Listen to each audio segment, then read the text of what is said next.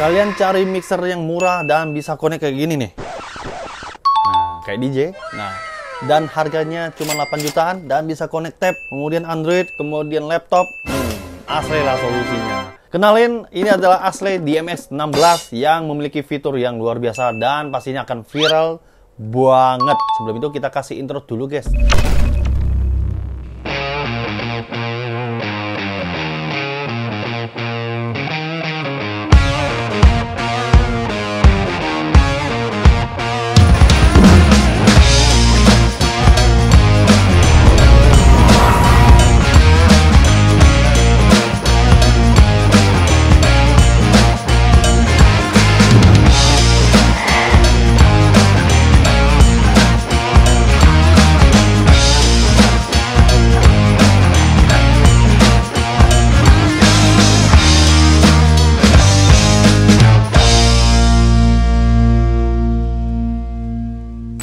DMX 16 ya mixer digital yang menurut saya ini bakalan laris manis dan laku keras sama seperti adik-adiknya yang mix warna City One. City One lagi. Oke kita nggak nggak lupa harus bawa City One karena City One ini juga uh, ngeluarin banyak ada City 41 dan yang isi 4 mic. Pokoknya uh, City One jangan lupa teman-teman nonton di video ini di atas oke? Okay? oh, ya Ngomongin mixer digital dengan kualitas yang bisa connect ke tab, kemudian Android, kemudian juga ke laptop. Nah, DMX 16 ini menawarkan beberapa fitur yang menakjubkan bagi saya. Saya kira harga 8 jutaan itu biasanya dapat ya biasa-biasa aja lah karena ya mixer digital kan. Nah, tapi di DMX 16 ini memiliki fitur yang bagus banget, ada kompresor, ada multi gate, kemudian dia ada graphic equalizer. Dari bahan bodinya teman-teman bisa lihat ini semuanya full besi, kemudian model tampilannya keren banget, dilapisi silver kayak gini, membuat Mr. Asli DMX 16 ini ganteng sekali ya, sama kayak saya. Nani? Omae wa mou shindeiru. Oke.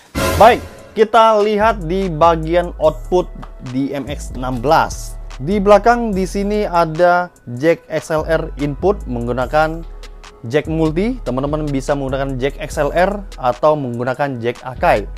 Nah, untuk inputnya semuanya XLR ada 12 input, kemudian ada 4 input lagi ya, 13, 14, 15 dan 16 itu menggunakan jack RCA merah putih. Kemudian untuk outputnya ada 8. Untuk main outnya ada 2, kemudian bus 1 sampai 6. Artinya total output ada 6 kemudian juga ada aux ya.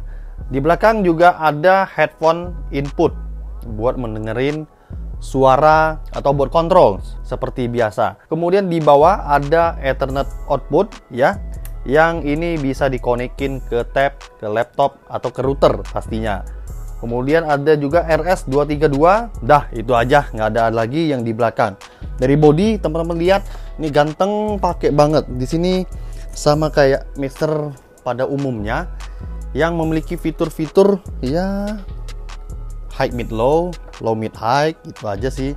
Cuman untuk DMX 16 ini sudah digital dan teman-teman bisa kirim sinyal dari input output mana saja. Nah, itu fungsi di DMX 16 ini banyak banget. Kemudian ada kompresor, ada limiter, semuanya sudah komplit, teman-teman ya. Baik, mungkin langsung saja kita review lebih dalam menu apa saja yang ada di DMX 16. Dari sini ada menu kopi ya, kopi paste. Kayak misalkan teman-teman mau dari mix 1 mau kopi ke inputnya berapa ya, lewat dari sini. Terus uh, teman-teman jangan lupa klik level yang di sini semua dicentang dulu. Baru misalkan teman-teman mau kopi, tinggal dari input targetnya ke uh, misalkan ini source channel kita dari input 2 kita kopikan ke input 4 nah teman-teman centang klik apply. Klik OK. Nanti dari pengaturan nomor satu uh, input yang dua masuk ke pengaturan ke input yang 4 ya. Jadi semua yang level kemudian balance kiri kanan semua efek semua akan tercopy ke input 4 seperti itu. Kemudian ada scan. Scan ini uh, preset yang kalau saya bilang preset yang teman-teman bisa save ke di sini. Kemudian setup ya ada banyak menu di device setup ya os oscillator auto mix mute fader ya fader setting uh, ngeling ya bus 1 bus 2 mau di setting uh, jadi satu fader nyala barengan gitu ya kemudian stereo link uh, shortcutnya key ya ini ada shortcutnya key di sebelah sini. Ini buat sama preset yang kita set di, di sebelah sini. Tinggal kita recall recall saja dari sini. Kemudian ada maintenance dan diagram. Nah diagram ini yang sudah terkoneksi di dalam mixer seperti ini diagramnya. Kemudian di sini ada rec atau play. Ya di sini kita bisa recording juga kemudian ada headphone uh, ini kita bisa dengar dari output atau input yang mana pun dari sini inputannya. Kita tinggal pilih-pilih saja output phone-nya ya. Kemudian output phone-nya juga ada PQ dan kompresor. Baik sekarang kita melihat menu yang ada di sini. Ini ada gain ini gate dan limiter.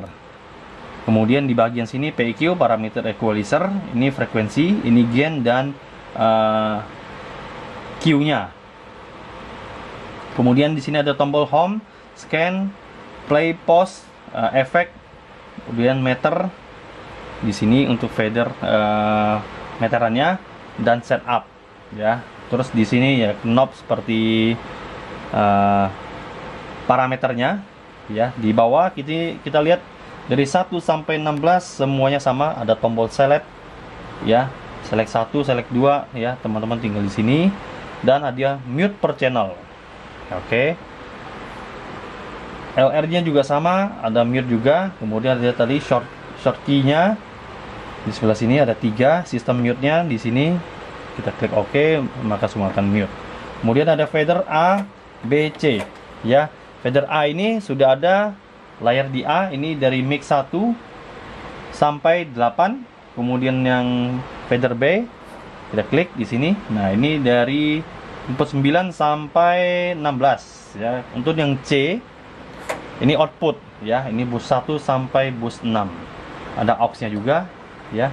Tinggal teman-teman mainkan di sebelah sini. Baik kita masuk ke mic input. Saya masuk ke fader A ya. Fader A di sini saya select dan saya nyalakan untuk equalizernya. Di sini teman-teman lihat ini mau teman-teman mau namain juga bisa mix 1 misalkan. Mix 1 kita klik enter nanti dia udah berubah mix 1 kemudian di sini teman-teman juga bisa input selectnya eh, input select setupnya. Uh, gennya teman-teman bisa atur dari sini ya. Kalau kita ngandelin fader dari sini kurang lantang kita naikin ke gennya di sini. Baik sekarang kita akan tes suara mic-nya dulu untuk mic kita menggunakan mic City One. Ini warnanya banyak ya. Ada merah ada pink. Eh bukan pink ini. Rose gold blue dan white. Nah ini keren banget. Mic wireless salah satu mic wireless yang terbaik.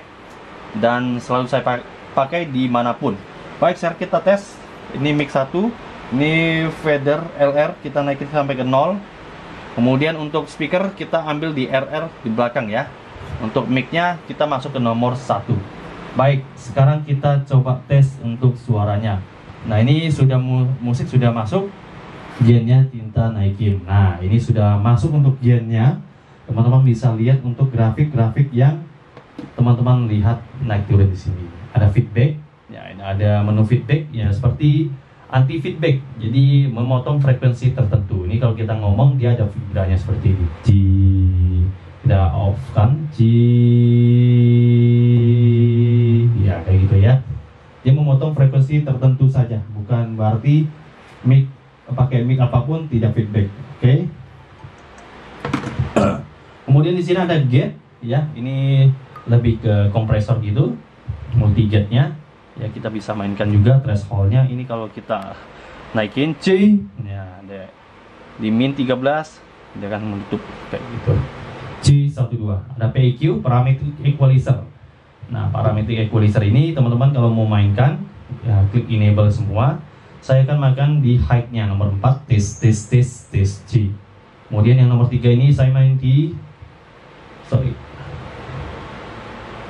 Nomor 3 ini saya main di middle.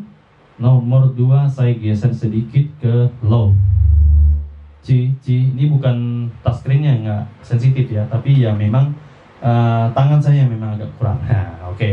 di sini juga untuk uh, high passnya juga kita bisa mainkan bezel atau butterworth kemudian kita pilih 24 kita mainkan.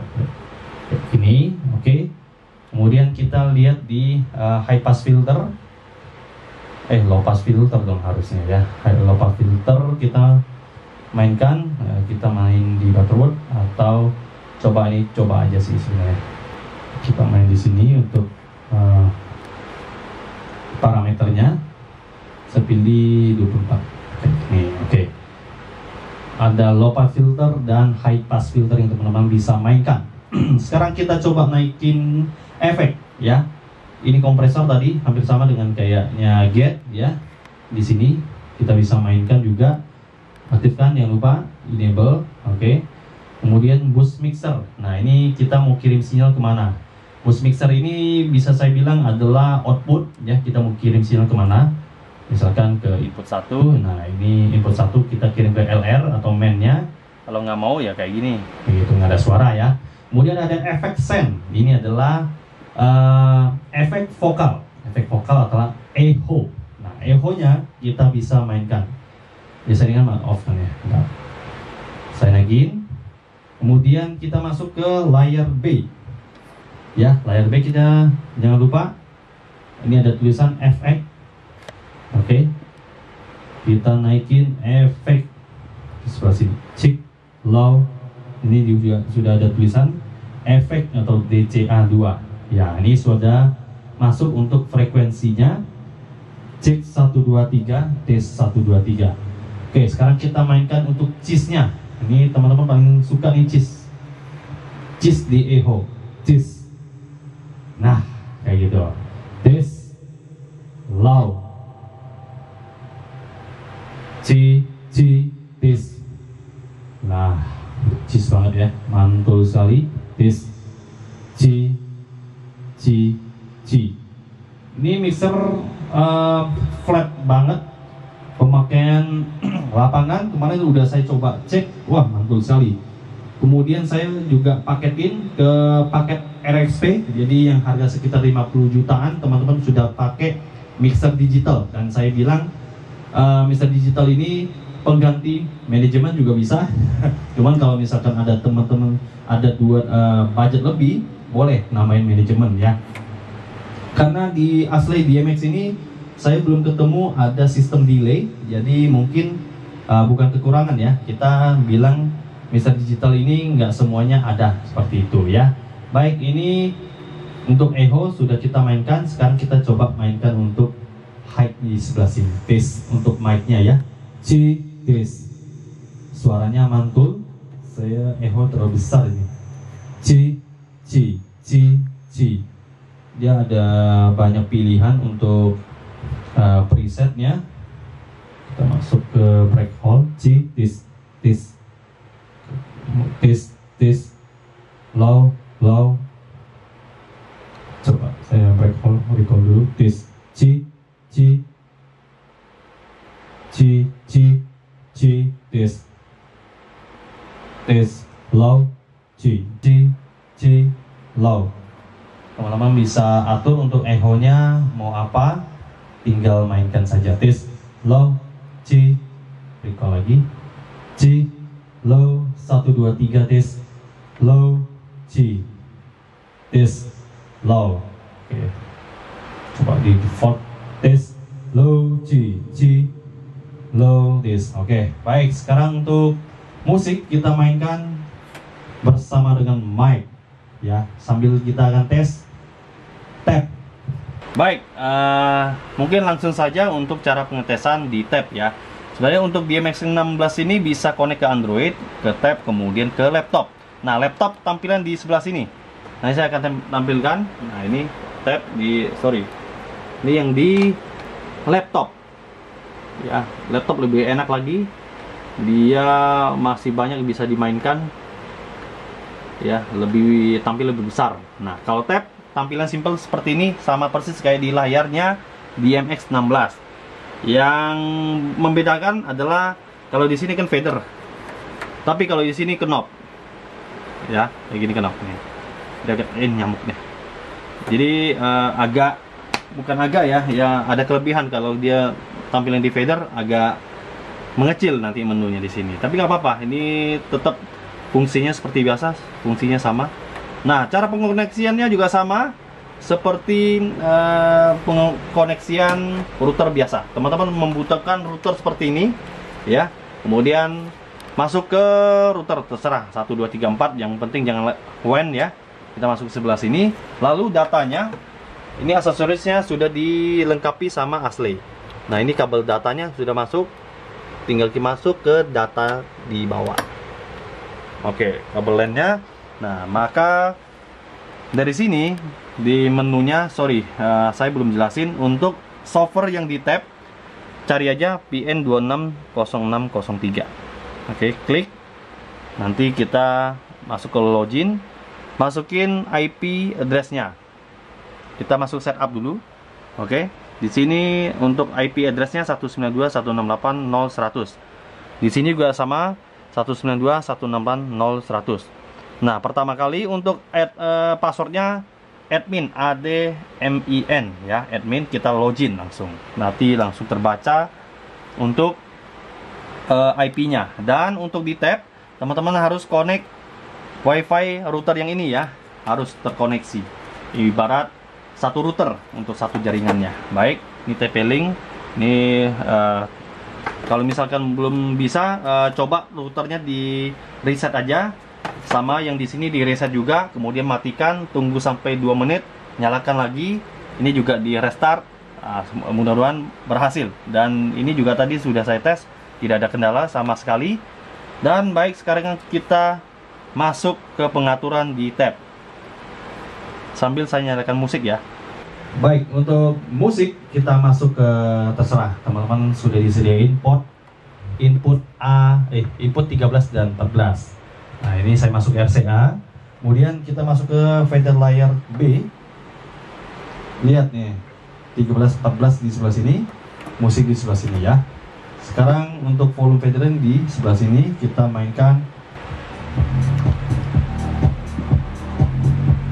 Ini sudah masuk musik. Kita klik select. Kalau mau atur equalizernya di sebelah sini Oke jangan-jangan uh, jangan lupa teman-teman klik enable-nya ini boleh mainkan. Saya main langsung di nomor 4 eh sorry nomor 4 di sebelah sini. Oke ini high di sebelah sini. Kemudian middle nomor 3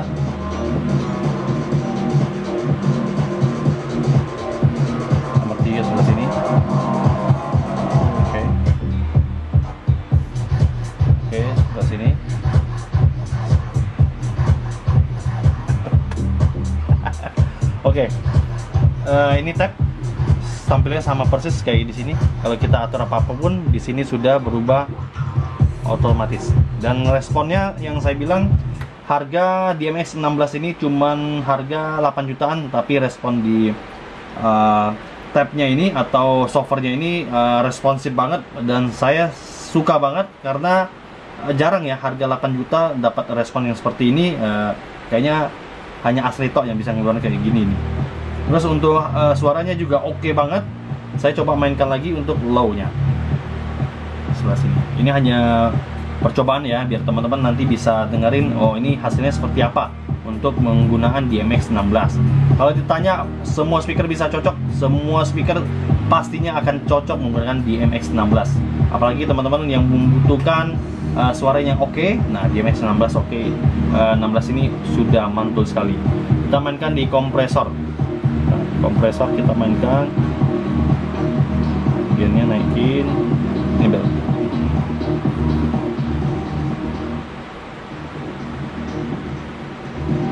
Ini kalau saya main di sini juga langsung ikutan di layar. Respons banget ya. Tuh, mantul ini.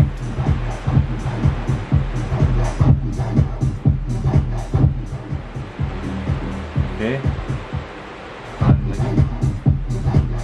kita matikan kita mainkan di gate.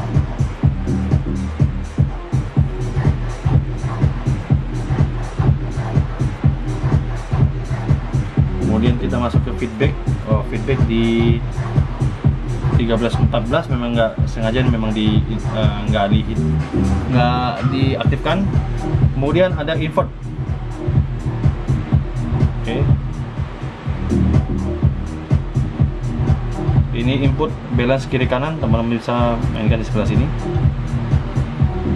oke mantep ada lagi yang menu low PF dan HPF Oke, kita mainkan di 12 dB. Baik, sekarang kita main di laptop ya. Di laptop ini layar B ya, 1314 yang kita mainkan. Nah, sama persis kayak di tab. Kalau nggak ada tab, pakai laptop aja sama aja. Tinggal di connect di sebelah sini, login in, masukin untuk uh, connect wifi dulu habis itu masukin IP addressnya dan admin untuk passwordnya ya kemudian kalau untuk ngatur uh, bahasa China atau Inggrisnya masuk ke ini ya di sini sebelah Inggris. Kalau awalnya udah gini nah, saya juga bingung nih. Oke masuk Inggris. Biar aman ya di semua uh, bisa terbaca lah kayak gitu. Ini scan kita bisa save di sebelah sini. Terus uh, misalkan teman-teman tanyain setelah kita matiin atau lupa save dia auto save atau tidak? Nah jawabannya auto save dan kita langsung matikan oke saya bilang DMX 16 ini responnya cukup cepat dan loadingnya uh, bukan speeder uh, bukan seperti mixer digital di lainnya. Ini cepet banget responnya. Ini kita hitungan detik. Paling ya 20 detik ya. 20 detik udah langsung masuk menu. Nah, kita lihat uh, untuk frekuensi yang tadi yang kita save kita tanpa save loh dia sudah auto save sendiri kayak gitu jadi makanya saya bilang ya, di MS16 ini gokil oke okay. kemudian dia tahu apa yang kita perlukan ya seperti itu apalagi teman-teman sudah ditambahin seperti ini ada tab ada laptop ya bisa connect apa pun dengan harga yang 8 jutaan. Kalau 8 jutaan Yamaha kan juga ngeluar kayak gitu uh, Yamaha. Kalau yang harga 8 jutaan mungkin dapatnya yang masih analog ya, tapi kalau misalkan teman-teman butuh mixer yang 16 input, DMX 16 solusinya seperti itu. Baik, uh, sambil kita nyalain vokal juga. Cik cik this this. Saya naikin efek juga. Cik low kita naikin musik di tab ya Citis mantap ya nih C low responsif banget ini tergantung dari routernya juga masing-masing ini gokil ya memang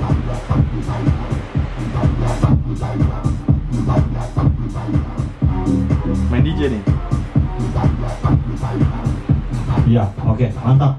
Kalau teman-teman tanya uh, bagus atau tidak, wah jawaban saya bagus dan saya sangat rekomendasi buat teman-teman buat pemakaian lapangan, pemakaian apa saja. DMX 16 ini sudah mumpuni teman-teman ya, tidak perlu ragu. Kalau sudah masuk di audio, pastinya sudah kita labi-labi dan cek pastinya oke okay. dan sangat merekomendasi buat teman-teman. Harganya juga oke 8 jutaan nih. Biasanya kalau di MX 6, eh, 16 channel, cuman setahu saya brand lain ya di atas 10 lah ya, di atas 12 juta juga ada gitu. Tapi bila harga 8 juta, oke okay lah, oke okay, mantap nggak usah mikir gitu. Baik, mungkin itu saja untuk review mixer digital dari Asli dengan tipe DMX 16 yang harganya cuman di K Audio 8 juta 800 ribu rupiah yang teman-teman bisa dapetin di Shopee maupun Tokopedia saya. Langsung aja klik di kolom komentar dan deskripsi box. Tidak lupa juga ada mic wireless yang tadi saya pakai. Ini ada banyak pilihan warna. Ada silver, merah, blue, dan rose gold ya untuk rose gold ini hanya di KH Audio Jakarta tidak ada di Surabaya jadi ini hanya contoh saja kalau silakan mau berminat silakan kontak kami lebih dahulu. Terima kasih sudah menonton video ini dari awal sampai akhir. Jangan lupa tetap subscribe di channel Koendra buat mensupport saya memberikan konten yang lebih bermanfaat lagi. Akhirnya saya Koendra, thanks for watching.